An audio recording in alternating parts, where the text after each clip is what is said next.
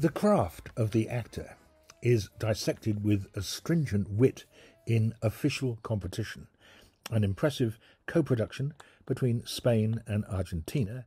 There's a lot of meat on the bone here, and while the insights into the art of directing and acting are somewhat exaggerated, there's a core of truth and, above all, a rich vein of humour.